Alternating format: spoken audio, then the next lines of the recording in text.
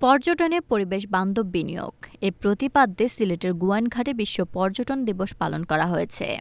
দিবসটি উপলক্ষে বুধবার সকালে গুয়ানঘাট উপজেলা প্রশাসনের উদ্যোগে একটি র্যালি বের করা হয়। র্যালি শেষে পিকনিক সেন্টারে আলোচনা সভা অনুষ্ঠিত হয়। উপজেলা নির্বাহী কর্মকর্তা মোহাম্মদ তাহমিলুর রহমানের সভাপতিত্বে ও গোয়াইনকাট প্রেস ক্লাবের যুগ্ম সাধারণ সম্পাদক মোহাম্মদ করিম মাহমুদ লিমনের সঞ্চালনায় অনুষ্ঠিত সভায় গোয়াইনঘাট থানার officer in charge K M Nazrul, Jaflong tourist পুলিশের ইনচার্জ মোহাম্মদ রতন শেখ ও পূর্ব জাফলং ইউনিয়ন পরিষদের চেয়ারম্যান মোহাম্মদ রফিকুল ইসলাম সহ অনেকে উপস্থিত ছিলেন।